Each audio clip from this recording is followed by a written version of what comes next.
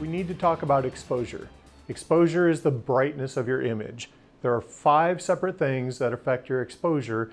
It's important that we know what those five things are and how they affect things. The first thing is going to be your light. The light is the most important thing. If you've got decent light, it's pretty easy to get good exposure. If you've got bad light, it's going to be a little more complicated. Um, there will be times where you can't use a light. If you're in a movie theater, if you're in a uh, concert, if, if you're you know in a situation where you're going to disrupt the audience, you can't use a light. There will also be times where you don't need a light. If you're outside in direct sunlight, you won't need to use the light, and this light isn't bright enough to actually have an effect outdoors in the bright sunlight. All right, so our on-camera lighting is going to make a pretty big difference here. Um, you can see that if we turn on the light,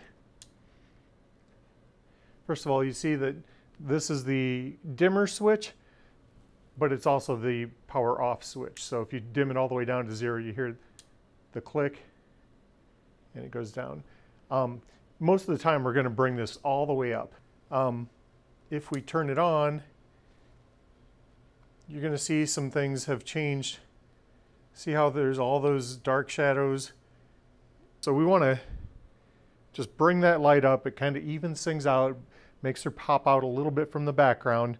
Um, so that lighting is super important. If you're indoors uh, and the lighting is decent, you probably won't need a light for B-roll, but you will always want to use a light for your interviews indoors. If you're outdoors in sunlight, it's not going to matter at all. It's just too bright. But if you're indoors, you'll want that light on. Outdoors at night, you'll probably always need a light. You might need more light than this can supply.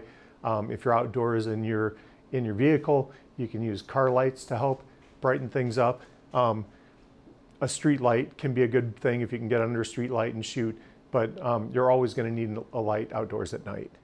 After light, the next thing for us to think about in exposure is the neutral density setting, the ND filter. Um, the ND filter is actually a filter. There's a physical lens in there that acts like sunglasses for your camera. Think about when you would wear sunglasses. Do you wear them at night? Only if you're Corey Hart. These small cameras have three settings for neutral density. Off, one quarter, and one sixteenth.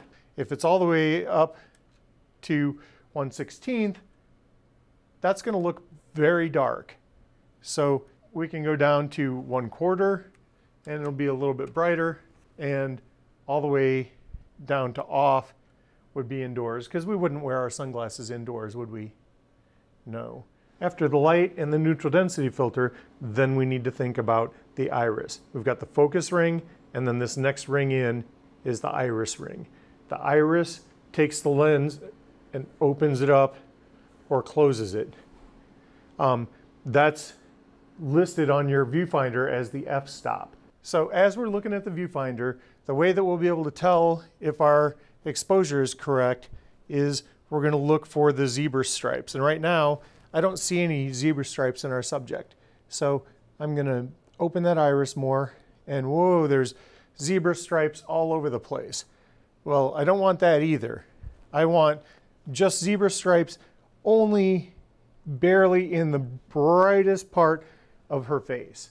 So I don't want them all over her face and I don't want like nothing so she's too dark. I, so not like that. Oh, and here I've got zebra stripes only in the very darkest parts, the darkest shadows.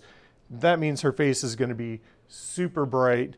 Um, we don't want that. We, we want something that's more right along the lines of almost no zebra stripes in her face.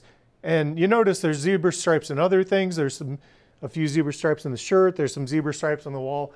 I don't care about that stuff at all. I don't care about the wall. I don't care about her shirt. I care about her face because the face is what we're focusing on, right? The final two variables in the exposure equation don't really have a priority, the gain and the shutter speed. With shutter speed, think about your lens. Every time it takes a picture, it snaps open and closed. Well, if you have a very slow shutter speed, then it leaves the light open for long and it lets in more light. That's going to make your exposure brighter. But it's also going to add motion blur. So anytime there's movement in the screen, there's going to be a motion trail behind it. You can see that the shutter speed is this little dial. Inside of the shutter speed dial, the front of it is the white balance. So those are connected in the same apparatus, but the white balance is the button you push on the front of it, and the shutter speed button is the little dial that you turn. As we look in the viewfinder, we'll see that shutter speed is going to be a fraction, one over something. From the test that I've done with these cameras, it looks like a 1 60th shutter speed is going to be pretty adequate in most lighting situations, even if you're in fairly low light, like down in the control room. There will be some exceptions. Um, as we get into low light, we might need to boost it. If you need to, you could go down to 130, but we want to be thoughtful of how much motion blur it's going to add. So we need to think about, is there motion in the shot? Is there not motion in the shot? So if you're in a super low light situation and you can't open the iris anymore and you can't um, get the shutter speed down low enough, then you could boost that gain. If you're familiar with still photography at all, if you use a DSLR, you're going to recognize gain is essentially the same thing as ISO. Um, we don't have quite as much control over the gain as we would with ISO. There aren't as many different steps. With the gain, we have low, medium, and high. And the way we have these cameras set up, low means zero decibels of gain. We have no gain on the low position. If I move it to medium, M, now I have nine decibels of gain. And if I boost it all the way to high, I have it set up so that we'll have 18 decibels of gain.